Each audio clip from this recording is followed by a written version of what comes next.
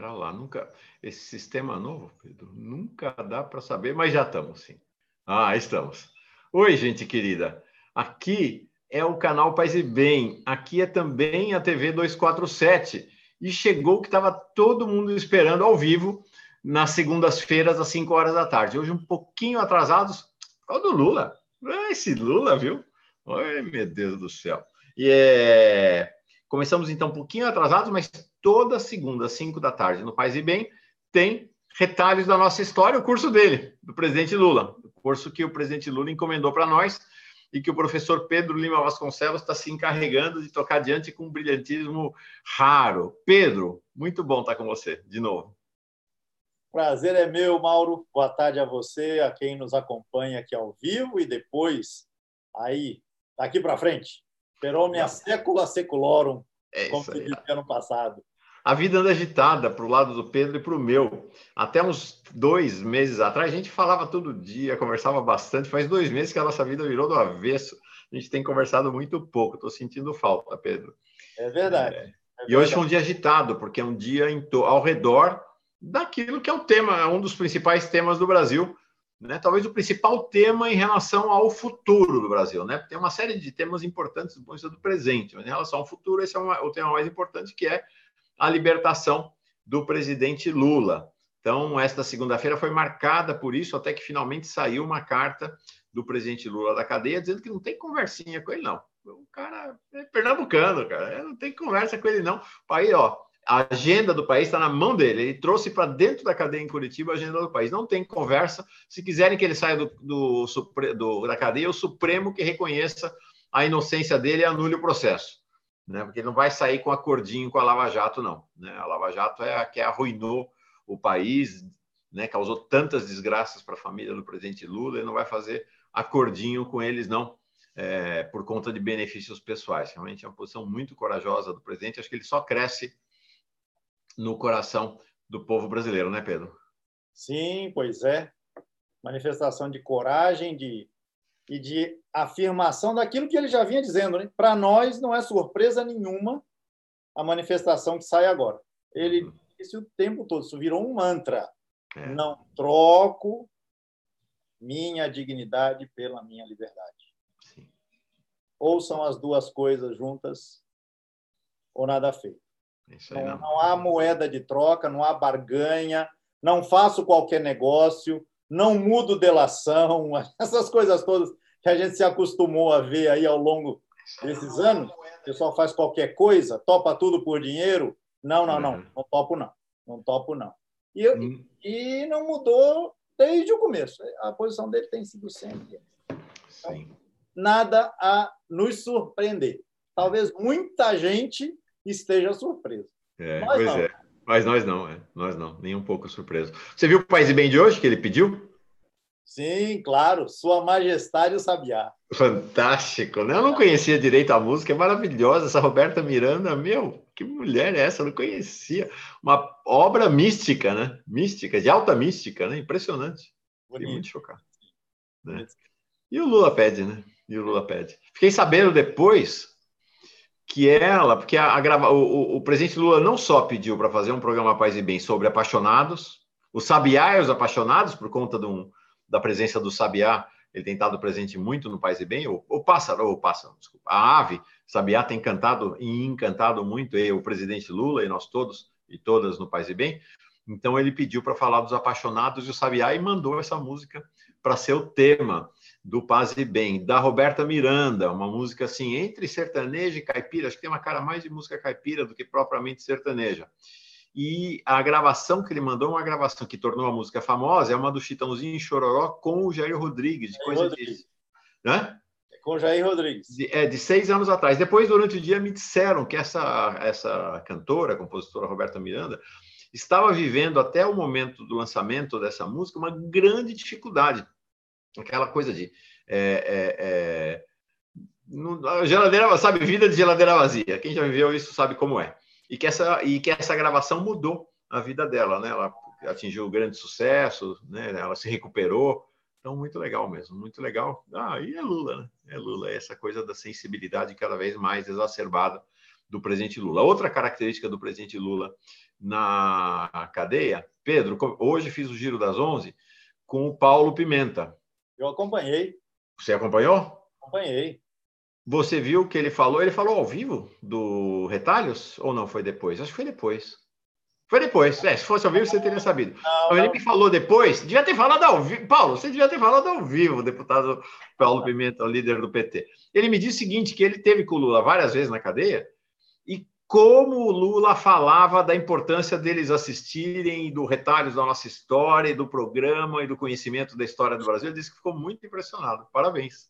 Ah, que bom, fico contente. Legal, né? E o Paulo Pimenta é uma figura né, com uma firmeza também, né, com uma muito. clareza das coisas. É. Foi muito bom o programa, parabéns a vocês.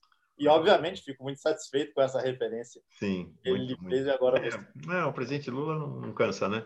De ser generoso com a gente. Bom, é o seguinte: hoje é o último episódio da nossa trilogia sobre os malês, né? Sobre a a beleza, a maravilha da presença dos negros, pretos e pretas muçulmanos aqui no Brasil durante o século XIX, em plena escravidão. Então, hoje é o último momento dessa trilogia, e ao final da trilogia eu estou para acertar com o Raj Magolin, meu colega no, no Fórum Interreligioso Lula Livre, um líder do islamismo aqui no Brasil, a gente fazer um programa, Pedro, eu e mais duas pessoas, provavelmente, é, para que os muçulmanos apresentem para nós uma reflexão deles sobre o que foi essa trilogia e sobre o momento, sobre a história do islamismo no Brasil. Tá? Então, hoje a gente acaba a trilogia, mas vamos ter ainda um quarto encontro ao redor dos malês com a, a lideranças do Islã aqui no país. Quero então começar saudando quem está ao vivo aqui na, no canal Paz e Bem, né? A transmissão na Pós TV 247 é sempre uma estreia sem ser ao vivo.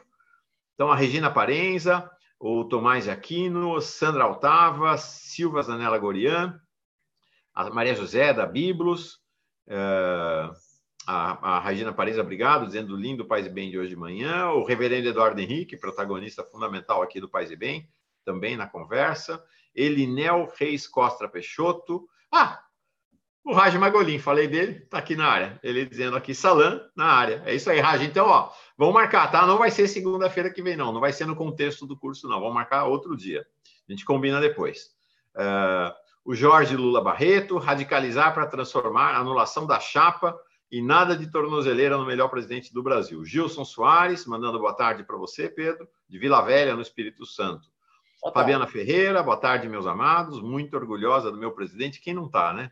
Leia Dias, uh, Bia Barrelo, Tomás Aquino aqui dizendo Lula do cárcere para a cátedra, né? Lula é o tema, né? Ou ainda mais hoje, esses dias, agora vai ser. Vai, bom, Lula vai ser o tema para sempre, né? Maria Aparecida Vieira, cheguei, gente. Boa tarde, Mauro. Boa tarde, professor Pedro. Adorando as aulas de história. Uh, a, a, Maria Aparecida Vieira está dizendo, Pedro, que está assistindo a série do Bolívar por conta da tua indicação. Ah, da indicação sim. que você fez aqui no nosso vale curso. A Vale a pena. a Bia Barrela dizendo: adorei o Paz e Bem. Aqui em casa tenho sempre a companhia, a companhia da Majestade a Sabiá. A Silvia Dantas, Neda Barbosa, de Campo Grande, Mato Grosso do Sul. Também temos sabiás cantando nos quintais. E o, o, o, perfil do confessor, grande amigo nosso, Lula Inocente, Lula Livre e Democracia Restaurada. Pois é, a sala de aula está constituída. Esses que eu nomeei, apenas parte, uma pequena parte, mas relevante demais, da sala de aula. Já tem muita gente assistindo o nosso terceiro episódio da trilogia dos malês. Pedro, é contigo.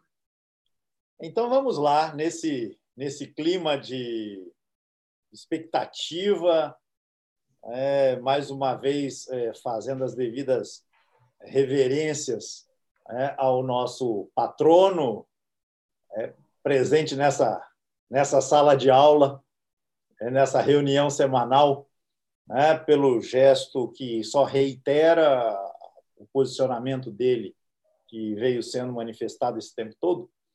Então, a gente introduz aí na conversa a figura de alguém que conseguiu, numa certa altura, é, a própria liberdade.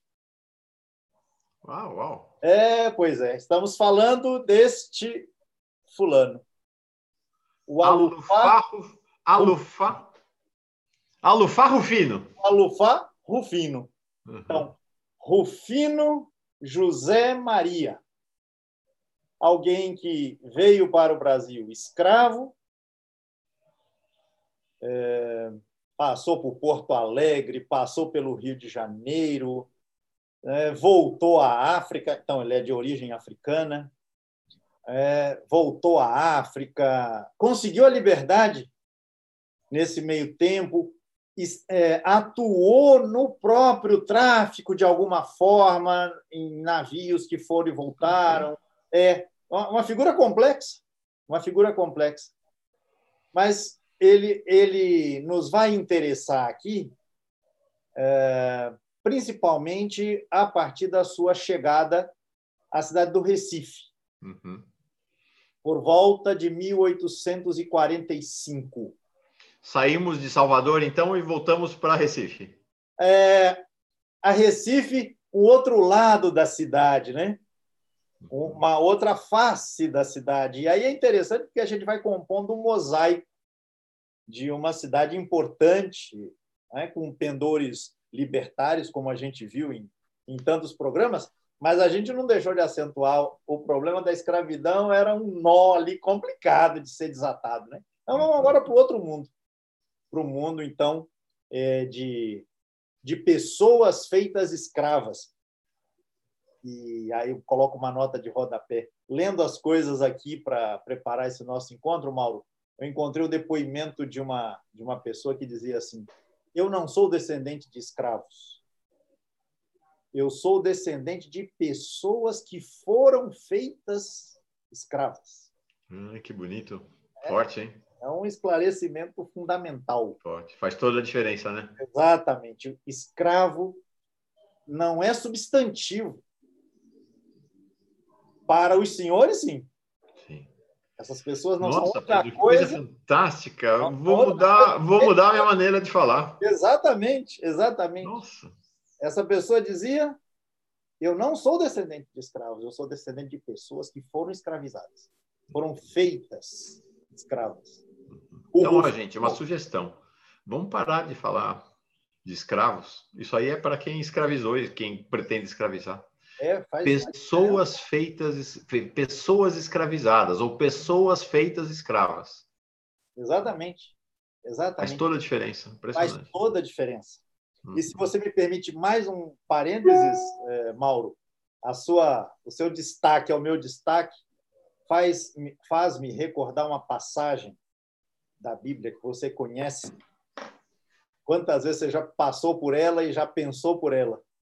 O chamado hino da carta aos Filipenses, uhum. em que Paulo diz que o Cristo Jesus esvaziou-se da sua condição divina, kenosis, e tomou a forma de escravo, fazendo-se assim semelhante a um humano. As Bíblias não, não traduzem isso direito. É, dá, uma, dá uma amaciada. Mas o texto diz isso. O fulano, o fulano aí, Jesus, né? Despojado, despojando-se da sua condição divina, assume a condição de escravo, tornando-se assim semelhante aos humanos. Por quê? Porque no mundo romano o escravo só se parece com gente, mas ele não o é. Uhum.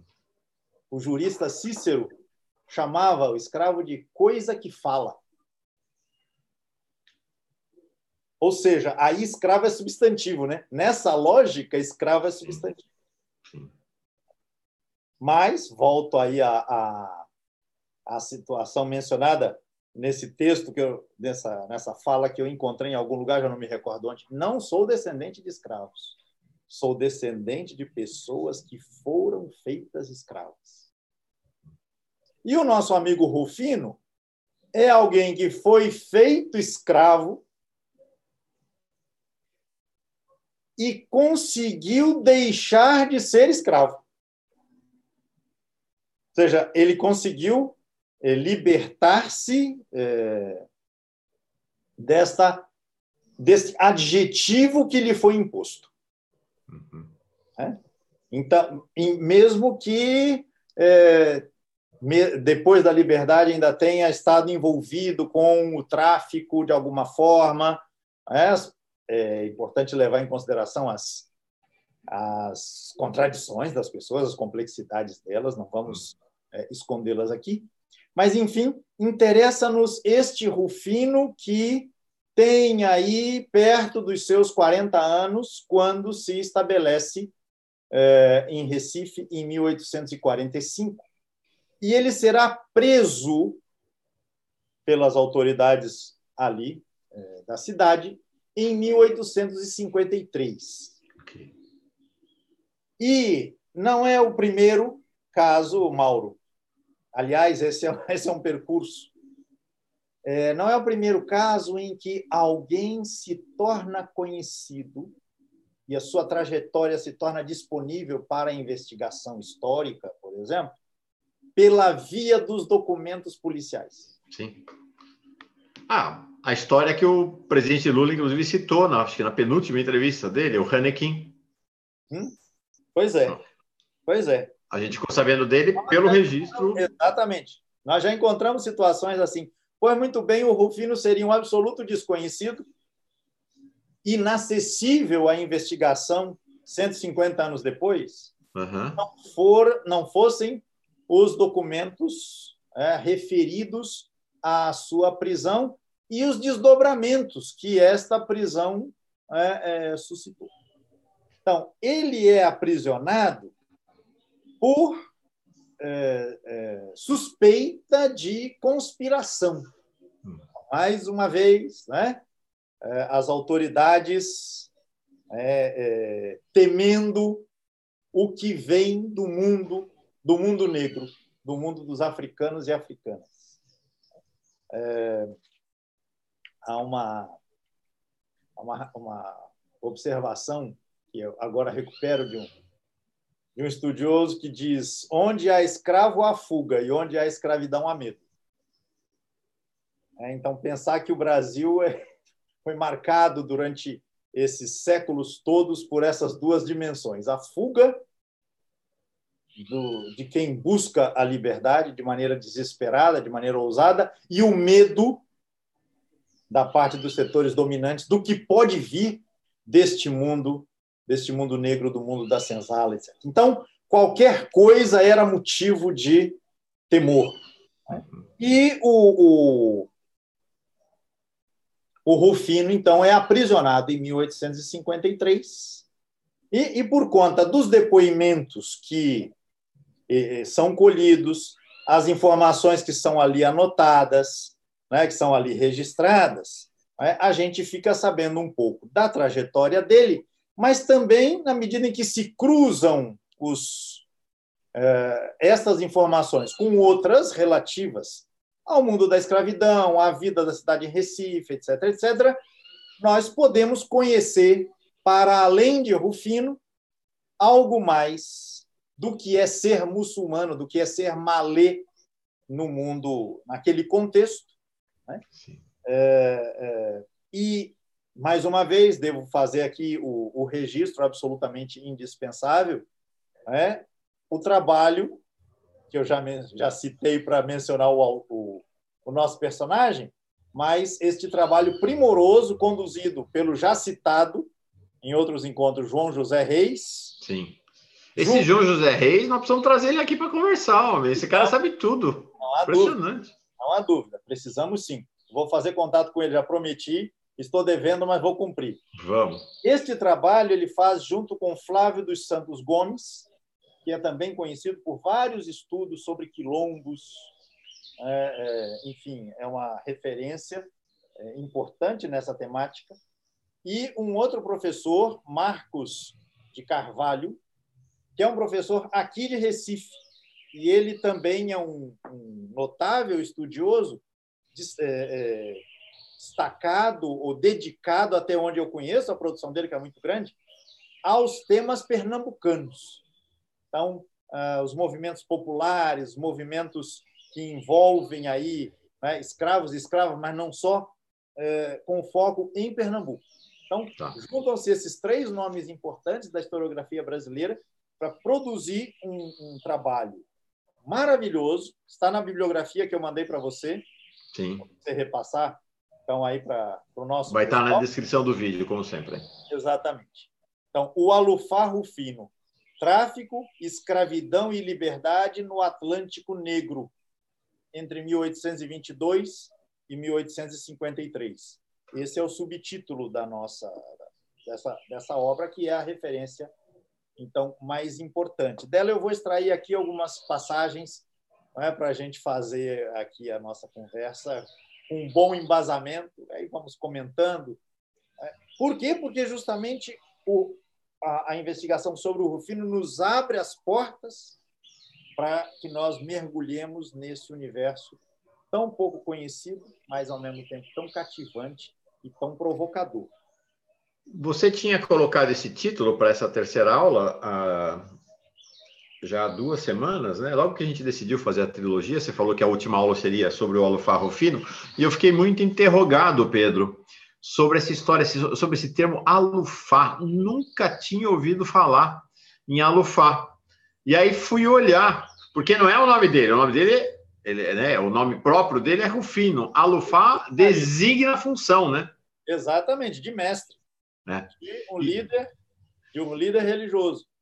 E aí fui descobrir. Oh, desculpa, fala. Diga, diga, diga, diga. Não, por que, que a gente não conhece o termo alufá? Porque o alufá era isso mesmo, era o sacerdote ou líder religioso muçulmano, tanto no Rio de Janeiro quanto lá, mas sobretudo em Salvador, no início do século XIX. O que, que acontece? Olha que interessante como é, tudo tem a ver com a luta de classes ou a luta entre dominados e dominadores. Depois da revolta dos malês, o termo alufá foi proibido de ser usado, não pôde mais ser usado. E aí o termo que sucedeu a alufá foi o babalaô, que já é mais, já aproxima mais do nosso vida, né? Que vai ser o babalorixá, né? Que é o, é o mestre, né? E, e troca-se de etnia, né? Porque a, a, a, o termo alufá é lá dos Ig, Ig, Igbo, Igbomina, e aí o Babalorixá vai ser, acho que dos Nagô, não tenho certeza nesse momento. não, me, não, é, não, não, não, sei dizer. Mas é muito interessante essa história, né? Por que, que a Lufá a gente não, não sabe? Não sabe porque foi proibido. Foi proibido que a gente soubesse. É, pois é, pois é. Para que a gente se dê conta também, né, Mauro, é, da, das facetas da repressão a gente pensa em repressão e pensa no porrete, pensa no chicote, pensa no pelourinho. Tudo isso é repressão, obviamente. Mas você tem a repressão no terreno, vamos chamar assim, do simbólico. Do simbólico, da linguagem, né? Da, da linguagem, né? da, da memória. Né? Então, são várias facetas que se entrecruzam né? para que a gente se dê conta é, do tamanho da complexidade desse, desse aparato. E fazendo eco à nossa discussão né, sobre os malês de 1835, para que a gente se dê conta do tamanho do estrago, vamos dizer assim, que esses malês, estas malês de 1835 produziram, para além do levante que eles fizeram, que foi fracassado. Mas olha o impacto que isso que isso uh, produziu, né? Não é à toa aqui do outro lado você tem um, um, um Bolsonaro dizendo para alguém lá, um, um, um, alguém que estava lá é, é, numa audiência dele, na saída do, do Palácio do Alvorada, né, que queria que mandasse uma saudação para uma professora que era de esquerda, aí ele disse, mande que ela leia o livro do Brilhante Ustra. É, o livro do torturador, né? Não, você lê o livro do torturador e esquece o nome com que o torturado era chamado. É, é, é o outro lado da história. Você tem uma, uma guerra de palavras, né? você tem uma guerra de símbolos, você tem uma guerra de mitos. E essa, essa observação sua ela é, muito, ela é muito preciosa é, nesse sentido. O Rufino é um alufá. e aí, como alufá, os ecos da rebelião dos malês ainda estão muito acesos. Ainda estão muito acesos. Você não tem 20 anos ainda do que aconteceu em Salvador. E as pessoas não sabem direito ainda o que aconteceu, né? Como é que esse, como é que esse, esse vulcão explodiu? Né? Então, quais são os efeitos? Então, de repente, a gente tem um fulano aprisionado né, é, nessas circunstâncias. ah, o, o Rufino ele não é o primeiro muçulmano em Recife. Ele não é o primeiro malê em Recife. A história, veja como as coisas se cruzam, Mauro, e quem nos acompanha. Uh, há a história de um fulano cuja referência mais importante em termos de bibliografia é dada por ele mesmo. Hum. É um Muhammad Bakwakwa. Bakwakwa? Bakwakwa. Uhum. Esse é o sobrenome. Ele foi escravo muçulmano em lugares aqui no Brasil, inclusive em Recife, na década de 40. E o, o importante é que ele consegue, ele depois é vendido e ele é levado para os Estados Unidos, e nos Estados Unidos ele consegue se, se libertar. Ele é apoiado lá por uma sociedade abolicionista e ele se liberta e se converte ao protestantismo. Ele era uhum. muçulmano e se torna batista nos Estados Unidos, o que significa dizer que aqui no Brasil ele era muçulmano. Sim. Né? E aí, Mauro, a coisa linda, maravilhosa. Baquaquaé, até onde eu sei, a única pessoa feita escrava que consegue deixar um testemunho em primeira pessoa da sua própria história. Ele escreve uma autobiografia. Uhum. Essa autobiografia foi escrita em inglês, porque ele estava nos Estados Unidos, né? Pois me parece que ele vai parar em Londres. Agora me foge esse detalhe, mas enfim, ele está no mundo de fala inglesa. E só recentemente esta obra foi traduzida ao português. Mas esse fulano viveu no Brasil, foi trazido uhum. da África para uhum. cá, muçulmano, malê, portanto, né? e ele é, é, descreve em algumas páginas como era como era ser é, é como era ser muçulmano num país, numa região, num, numa nação majoritariamente católica.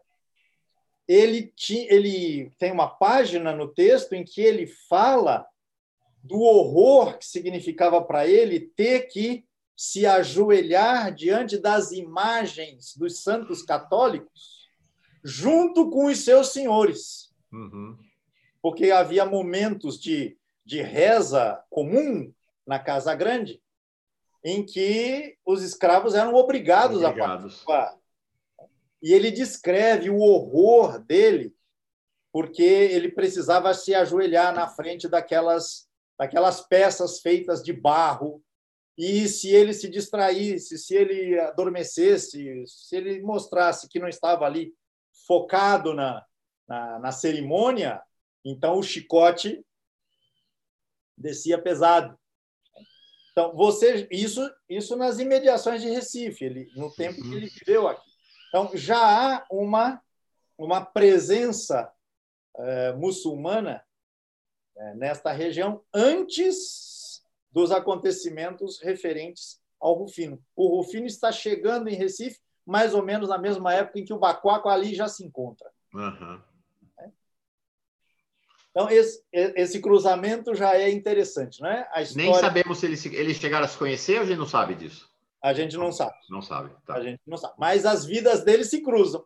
Sim. Naquela Recife de 50 mil habitantes, com um número significativo de escravos, de pessoas escravizadas, corrijo-me, ainda. Né? Uhum. A, a, escravidão está decrescendo, mas ainda o número de pessoas é, nessa condição é, é significativo. Né?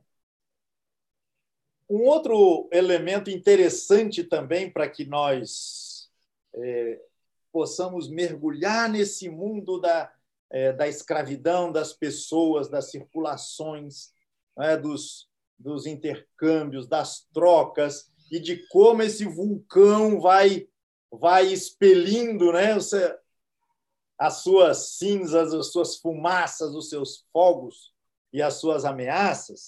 Eu vou tomar aqui uma referência do, do trabalho do, do Reis, do Gomes e do, e do Carvalho, que é a seguinte: Mauro, o, a Casa Grande, a elite, ela é tão arrogante que ela não se ela não se dá ao trabalho de prestar atenção aos detalhes.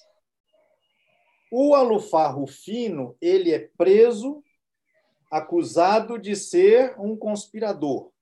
Logo se nota que ele é adepto de alguma religião que não é a oficial, a única uhum. aceita que é o catolicismo. E aí ele é confundido por uns e associado por outros com uma figura que apareceu em Recife, emergiu também em Recife como ameaça em 1846.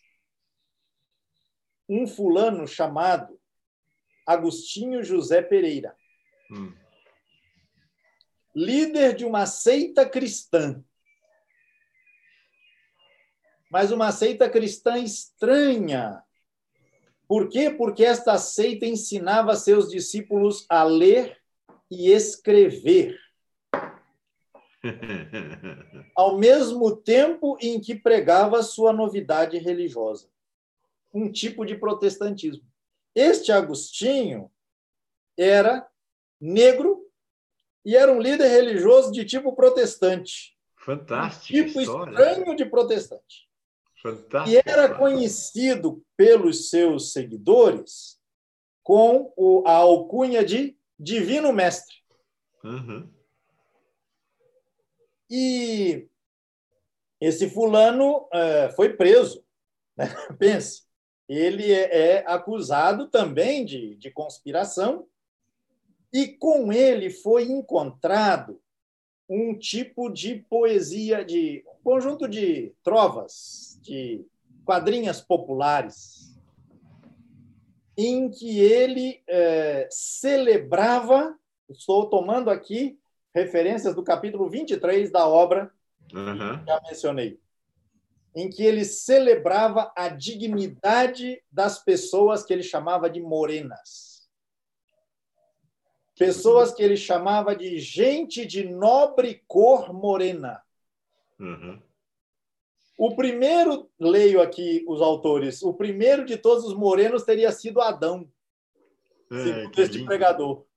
Uhum. Já o moreno Moisés libertou seus irmãos de cor do cativeiro egípcio. E o próprio Cristo, o verdadeiro Messias, assim assim o pregador o chamava, escolheu nascer moreno. Uhum. E em 1846, dizia o, o, o Agostinho, tinha chegado a hora da libertação dos morenos.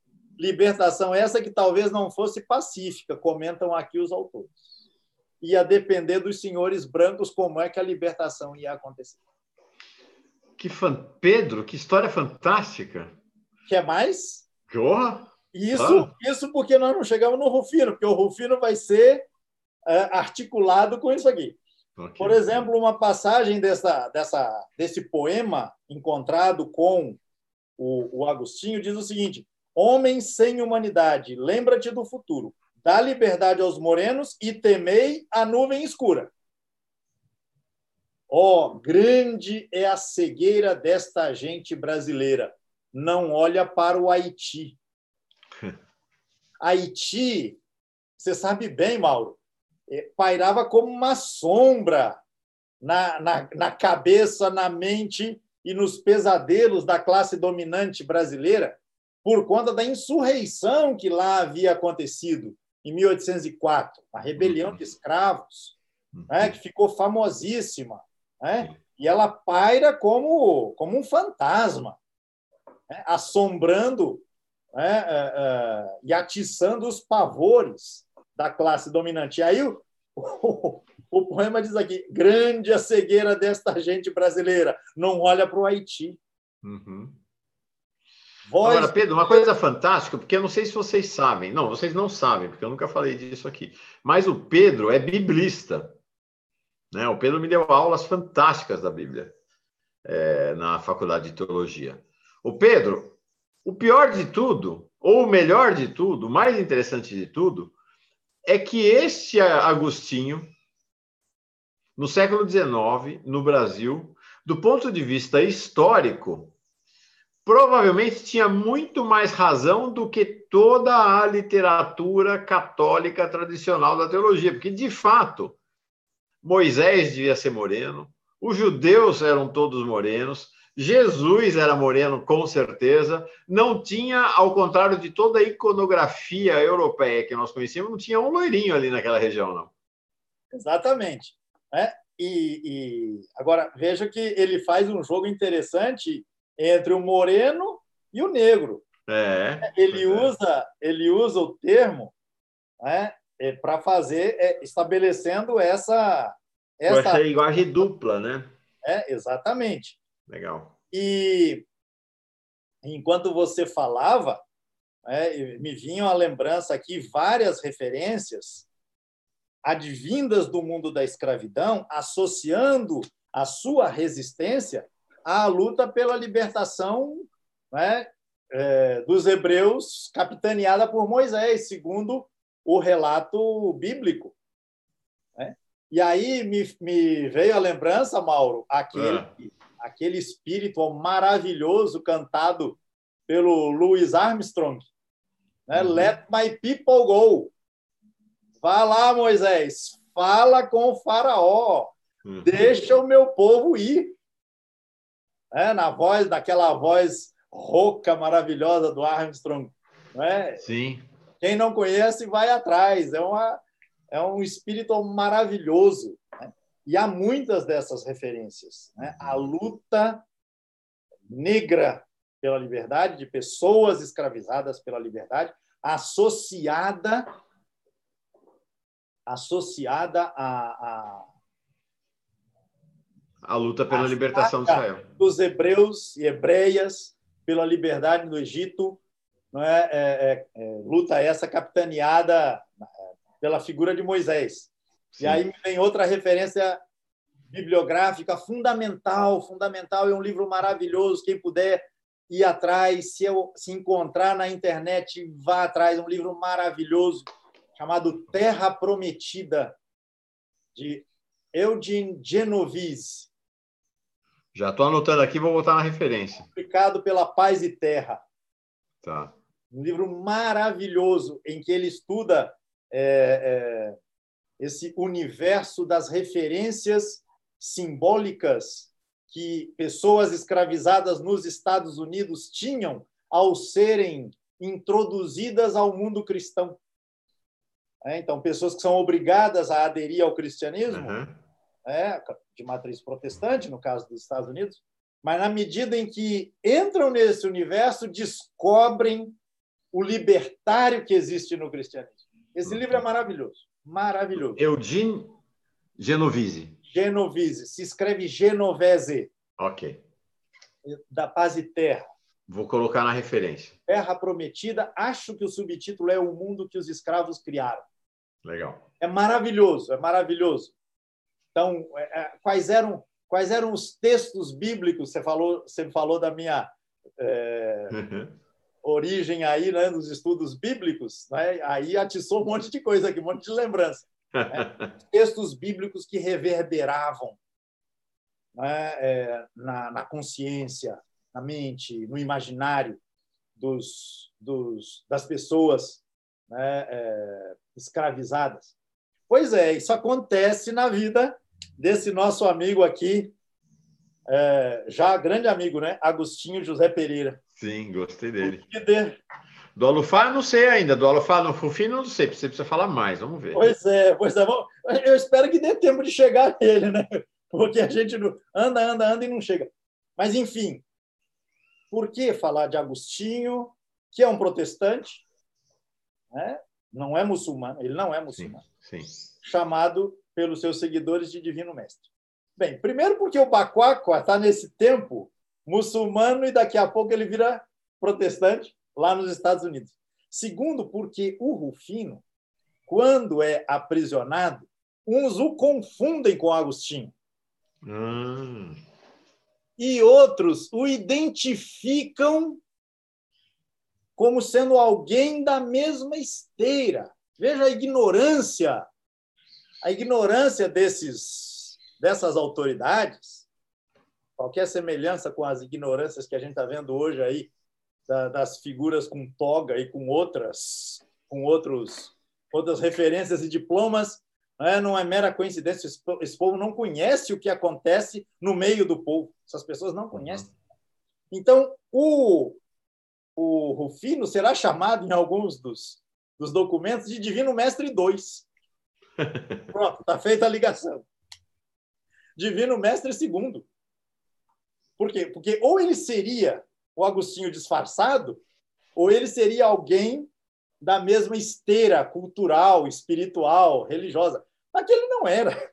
Ele uhum. tinha um outro mundo completamente diferente. Mas Sim. a confusão né, é, estava estabelecida. Bem, o que é que o que é que as as escritas, os registros sobre Rufino, então finalmente vamos falar do Rufino, né, é, nos permitem nos permitem conhecer sobre este este mundo no qual ele transitava.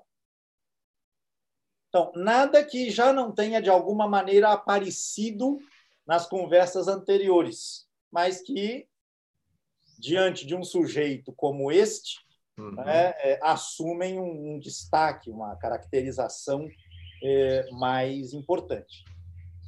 Então, primeiro, alguém que sabia escrever, ler uhum. em árabe. Sim. Eu acho que contei para você fora do ar, então tem que contar aqui ao ar, no ar. E se eu já tiver contado no ar, o pessoal vai me perdoar se eu repito. É, foram encontrados com ele escritos em árabe. Uhum. E não havia ninguém em Recife, conhecido das autoridades, que desse conta de decifrar uhum. o que ali estava escrito. E o pessoal não confiava que o Rufino traduzisse aquilo de maneira adequada. Certo. Então procura-se daqui, procura-se dali alguém que saiba decifrar aqueles aqueles garranchos ali e não encontram. Uhum. Aí eles colocam um, um anúncio no jornal procurando alguém que saiba hebraico, chinês ou qualquer língua estranha para poder decifrar aqueles papéis. Né?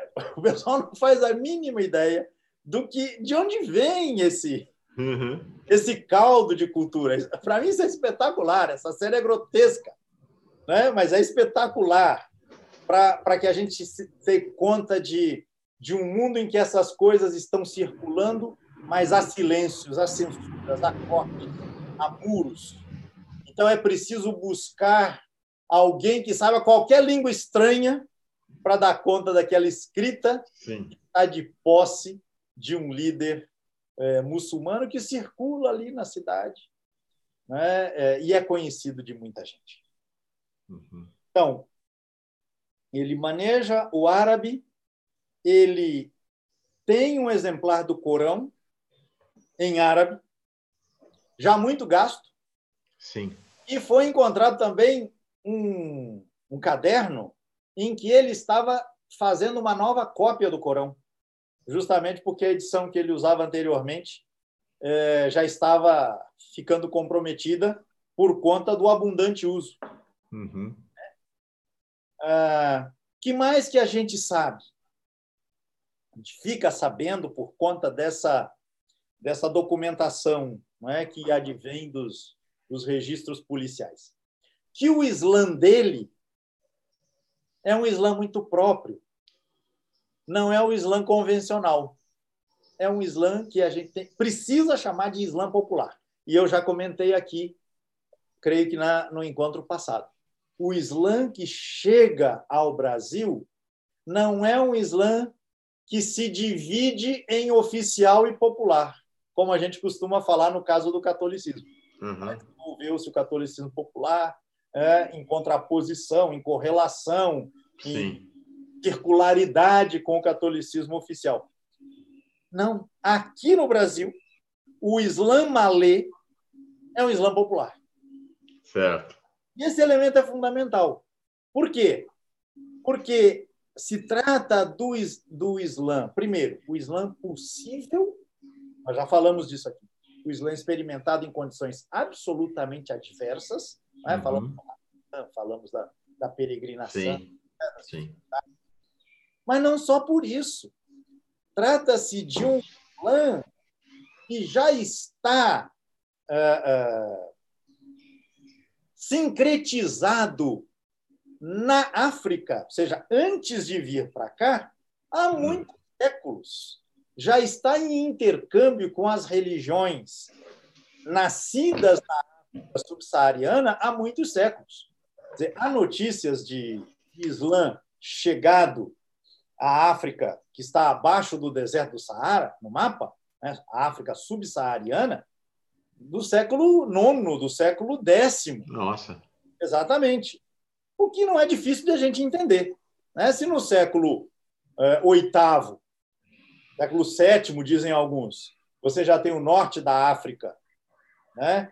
É, aderindo islamizado à expressão religiosa, vai demorar um pouco mais para que o Islã atravesse o deserto, mas atravessa uma certa hora uhum. né, pelas rotas comerciais Sim. Que atravessam o deserto, o Islã chega à, à África subsaariana e ele se sincretiza com as religiões autóctones desta África. Portanto, quando esse Islã é trazido para cá, ele é trazido já, diria o nosso saudoso Milton Schwantz, que eu já citei hoje numa mensagem para você, já, já cozido, uhum. né? Já na, naquele grande caldeirão cultural, sim, sim, junto sim. com as religiões de matriz é, africana. E é isso que vem para cá. Uhum. Por isso a gente vai ter um Rufino que domina o árabe, conhece a, a, a doutrina, de alguma forma, até um certo ponto, vamos dizer assim, mas ele é também alguém que se dedica a práticas de curandeirismo. Ah, uau! É alguém que é denunciado por práticas, por exemplo, como a da geomancia. O que, que, é isso? É geomancia é aquela prática que você pega um punhado de, de terra, de areia, terra. a mão, e você solta. E a partir do desenho que, essa, que esses grãos assumem no chão, uhum. esse punhado cai, você faz a leitura e prevê o futuro. Eu não Legal. tenho a quiromancia, a leitura de mão. Você tem a geomancia, que é a leitura da terra. Muito legal. Isso é uma prática é, da África subsaariana que vem para cá. Uhum. E no Islã popular, ela não, ela não é colocada de lado, ela não deixa de existir, ela coexiste, ela, ela se articula com os modos populares de ler o Corão, de ler, é, de reproduzir as passagens corânicas, etc, etc.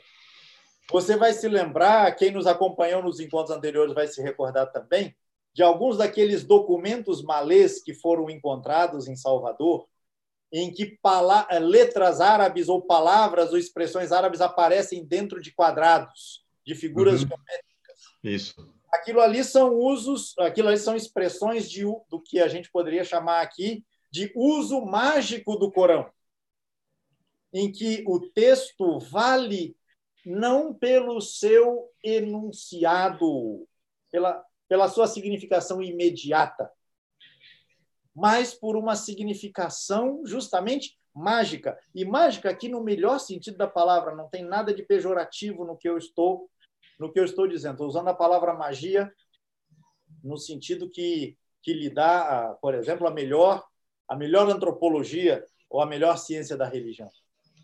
Uhum. A, a, palavra a palavra corânica que está num amuleto, como nós vimos também. Sim. Então, não é o dizer, não é a significação que eu aprendo pela razão. Isso também vale. Sim. Mas pense, por exemplo, em alguém que é muçulmano, muçulmana, mas que não lê. Uhum. Mas mesmo assim cultiva a palavra, cultiva o livro, cultiva passagens do Corão. Então você tem aí o terreno do, do que alguns chamam de uso talismânico do Corão. Uhum. Isso não, isso não se, se encaixa facilmente naquele Islã convencional que nós conhecemos, estamos acostumados sim, sim. a representar. É, então, ele é alguém que desenvolve práticas curandeiras, ele desenvolve atividades é, nesse terreno da, da, da adivinhação, né? ele prevê o futuro, ele é conhecido desta maneira. Ele é alguém conhecido, né? e é bastante conhecido na cidade, por alguém que, alguém que tira feitiços. E, aliás, ele diz que esta fama de alguém que lida bem com os feitiços é. o tornou famoso, inclusive na, uh, no ambiente de gente branca. Pessoas do mundo branco uhum. vão consultá-lo, vão reivindicar-lhe os serviços, vão pagar-lhe por esse tipo de serviço. Sim.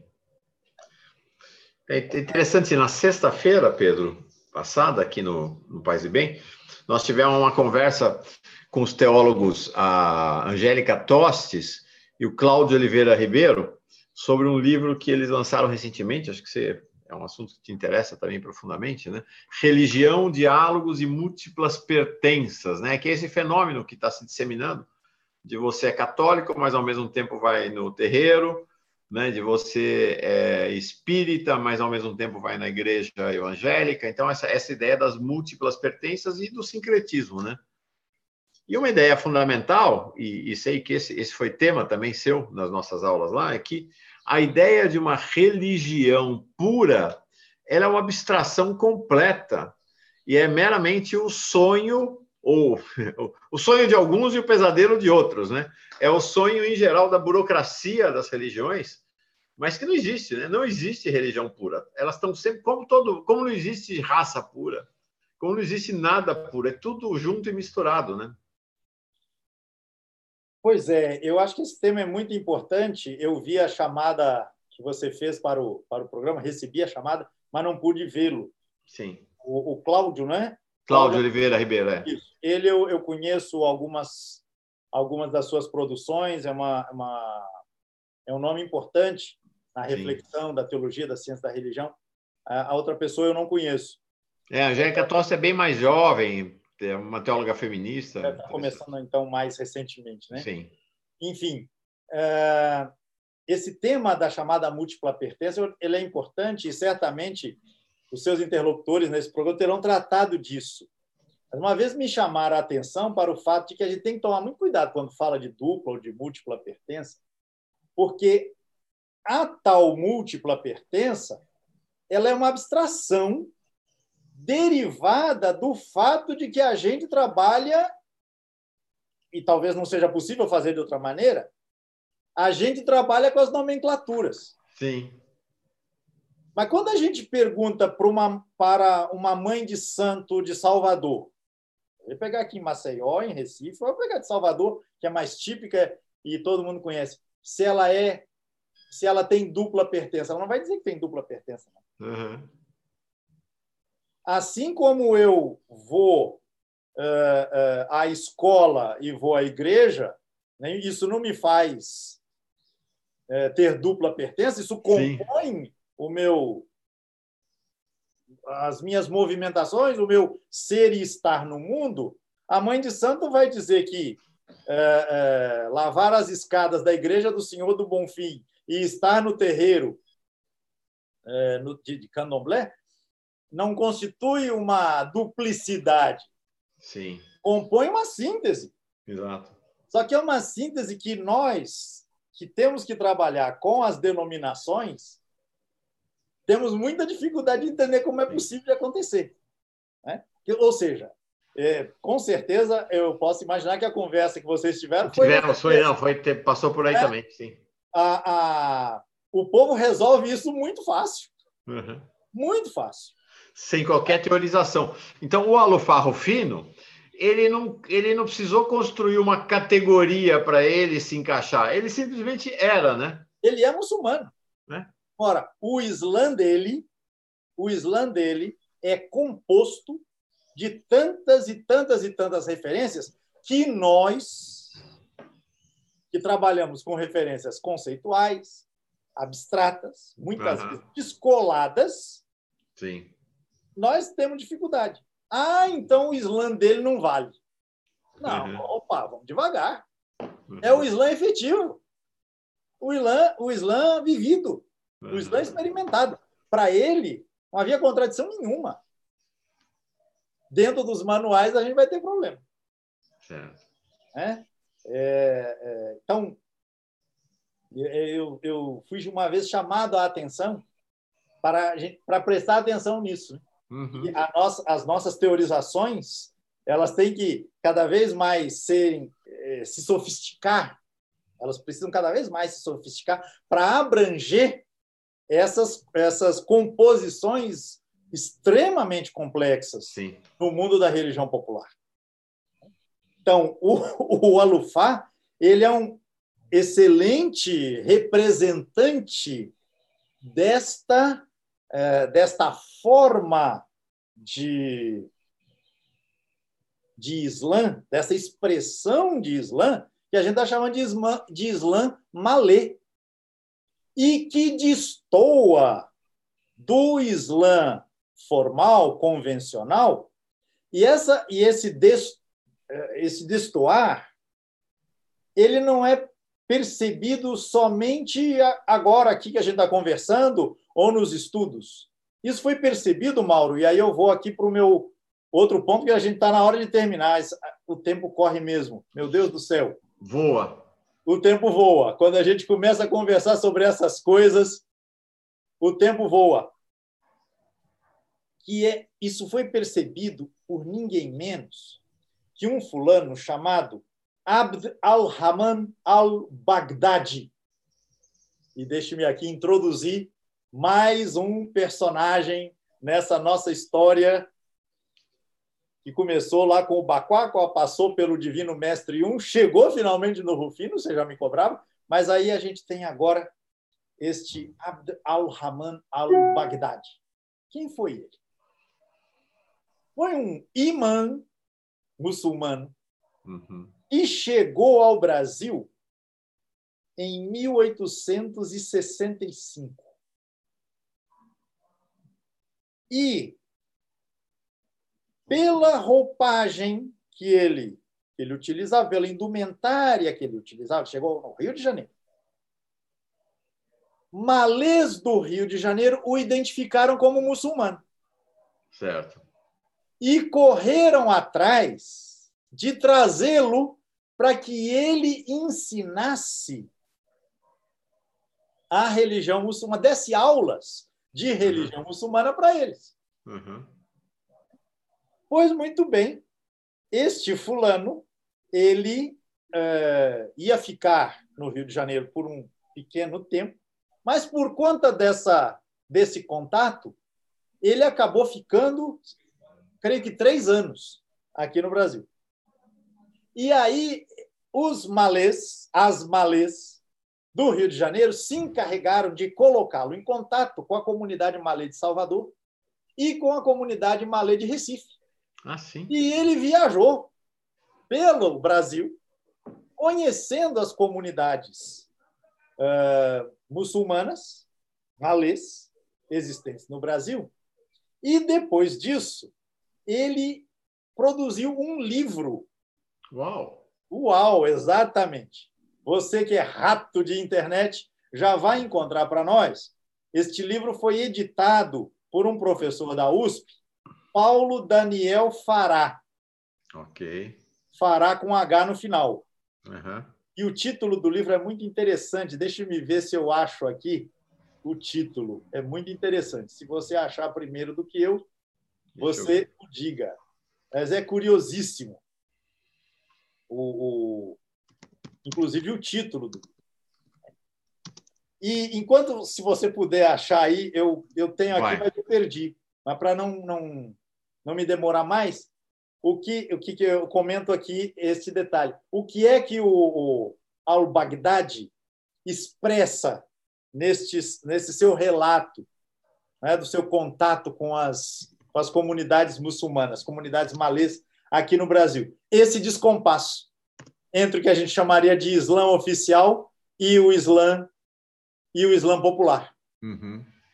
Ele se ele se incomoda com é, a constatação que ele, da sua posição de imã. Porque ele era alguém da hierarquia, exatamente, né? Exatamente, da elite religiosa. É, e ele vai parar em Recife já na década de 60. Portanto, 10 anos depois, 10, 12 anos depois da, da prisão do Rufino. O que permite perceber que a comunidade malê continuou a sua história. Certo. Ó, vê se é esse o título. Deleite do estrangeiro. Exatamente. Deleite do estrangeiro em tudo que é espantoso e maravilhoso. Exatamente, é este livro. Tá. Este Eu vou, livro. vou botar a referência, tá? Ótimo, ótimo. Tá. Eu agradeço e a comunidade agradece. Uhum. Este é um livro precioso, eu estou atrás dele. Estou atrás ah, dele. vou te mandar a referência, tem para vender aqui na estante virtual, já vi. Ah, então, temos que ir atrás, porque parece que Nossa senhora, gente, mas é caro, mas é, é caro. É, eu já vi, eu Nossa. já vi. Porque ele, se não me engano, ele é trilingue. Tá. Ele está escrito em árabe e mais uma outra língua e em português. É uma edição todas as referências que eu tenho dizem isso, que é uma edição muito bem preparada, tá. muito. Vou te passar o link. Muito, é, muito esmerada no seu preparo e aí o preço vai lá para cima. Né? Mas é, é, os nossos autores na obra uhum. Alufar Rufino justamente dão conta disso. Né? Primeiro que esses alufás tinham conseguido um, um espaço grande nas sociedades né? do Rio, de Salvador, é, de Recife. Né? Isso se soma com aquilo que o Rufino falava anteriormente, né? que, de clientes brancos que ele chegou a ter, Sim né, que se tornavam aliados, que se tornavam defensores, né, que acobertavam né, essas práticas que oficialmente eram clandestinas. Sim, né? sim. Mas, por outro lado, um incômodo que este, que este imã é, manifestava em relação ao que a gente está chamando aqui de Islã popular. Uhum. É, então, né, não, não se fala de um encontro entre o al-Baghdadi e o Rufino, é possível até que o Rufino tenha, tivesse morrido antes ou tivesse saído dali, a gente, a gente perde as notícias dele. Né? Sim. Mas, de toda maneira, o relato do al-Baghdadi dá conta de que a trajetória malê né, ela continuou né, tá avançando, né? avançou até pelo menos o fim do século. Mas é uma similitude, é, é, imediatamente me vem à memória a reação da hierarquia católica ao nosso Antônio Conselheiro. Que é, é do mesmo tipo da reação deste imã ao, ao farro fino. Uma liderança, exatamente. É, é uma liderança popular que então não expressa a religião autêntica. Não se enquadra no figurino, né? Exatamente, exatamente. Uhum. Interessante. No entanto, o, o, relato dele é muito importante, porque é um testemunho muito qualificado de alguém que conhece do, conhece do métier, né? uhum. né? É, dando conta da existência desta, é, dessa faceta né? no mundo da escravidão, no mundo Sim. das pessoas escravizadas, em que né, os elementos típicos ou característicos daquilo que nós identificamos logo como Corão como, ou como Islã estão muito bem articulados com práticas que nós associaríamos às religiões de matriz africana, né, reescritas, reinventadas aqui no Brasil. Pois bem, o Corão e todas as referências do Islã formal fizeram parte deste caldo cultural. Muito legal. Né, ao menos no Rio de Janeiro, em Salvador, em Recife, na Penedo, da qual nós falamos na semana passada, Sim. Né? o ritual dos mortos. Né? Sim. enfim, né, é, essas várias notícias, né, inclusive aquele, aquele anúncio de jornal que você me passou, não é que o, o seu amigo o Raj lhe mandou, né, também dá conta ainda de, um, de uma presença malê dez anos depois de Al-Baghdad, de 1877, Sim. É, o anúncio, ou seja, essa comunidade teve vida longa. É, há notícias dando conta, inclusive, de disputas entre lideranças malês é, é, pela, pela hegemonia, pela, pelo, pelo controle, pela coordenação é, desta, desta comunidade muçulmana. Enfim, é uma. Ó, o Pedro se referiu, está aqui. Deixa eu tirar aqui o caminho.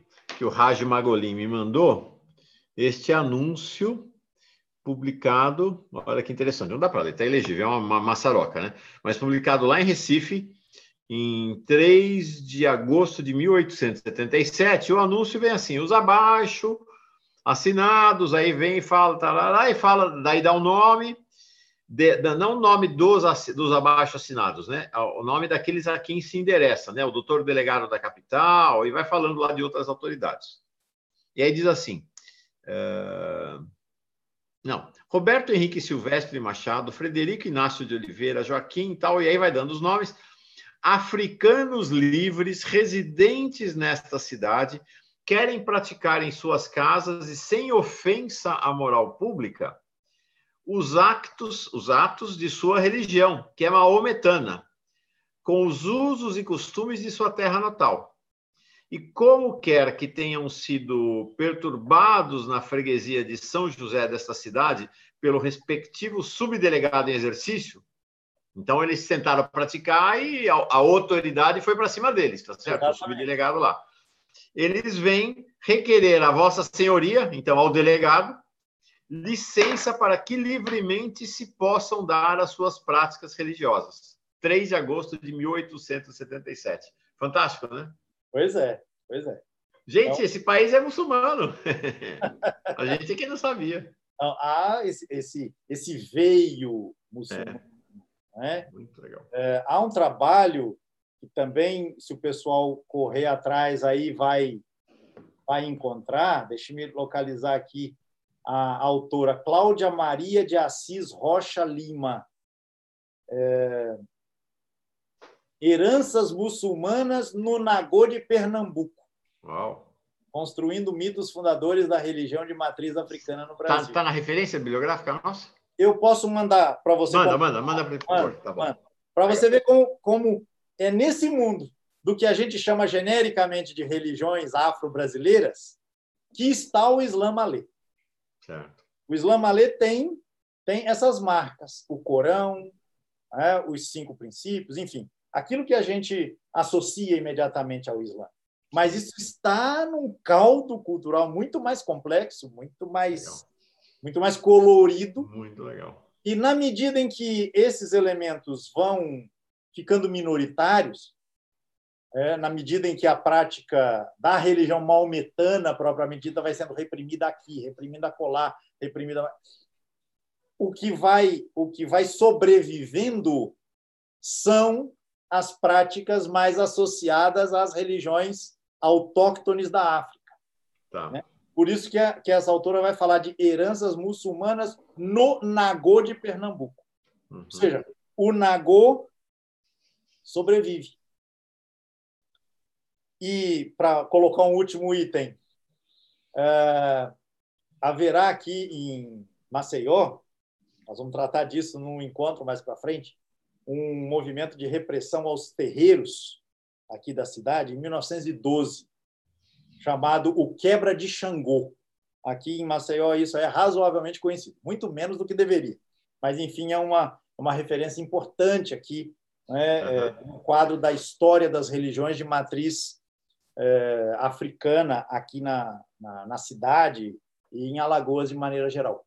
Pois muito bem, um grupo que foi reprimido, que sofreu a repressão desses é, sobre essas expressões que a gente chama assim de religião afro-brasileira, o grupo era chamado Malê. Hum. Para ver como é que as coisas estão efetivamente mescladas, misturadas. Muito legal. Legal, isso é maravilha. Esse país é uma maravilha. Ô, Darcy Ribeiro, que saudade de você. Exato. Se tem alguém que entendeu esse país, esse homem, né? Impressionante. Ele sacou todas, todas essas cores, é, todas essas interpe interpenetrações, né? Exatamente. Era Exatamente. genial, Darcy. Genial. Legal. Então, esse foi mais um Retalhos da Nossa História. Encerramos hoje nossa trilogia sobre os malês. Ficamos devendo uma conversa fora do âmbito do curso Retalhos da Nossa História, uma conversa no Paz e Bem, com retransmissão pela 247, de reflexão sobre essa trilogia por, com alguns representantes da comunidade islâmica no Brasil aqui hoje né, para a gente pensar um pouco, né, para eles trazerem para nós elementos da história do islamismo no Brasil, em que medida se conecta ou se desconecta da experiência dos malês, como é que eles refletem sobre a experiência dos malês, acho que vai ser uma conversa bem legal. No Retalhos, no curso do presidente Lula, a gente continua na próxima semana e, e vamos, sabe para onde a gente vai? Lá para a terra do Pedro, vamos para Lagoas. É isso, né? Isso. Revolta vamos... dos Cabanos. Revolta dos Cabanos, a cabanagem na próximo encontro, né, no encontro 27 do Retalhos da Nossa História, o curso do presidente Lula. Gente, se você não está inscrito, inscrita ainda no canal Paz e Bem, corre, inscreva-se. Vamos chegar, se possível, ainda até semana que vem, aos 22 mil inscritos. É pouquinho, né? TV 247, após TV 247, tem 450 mil já.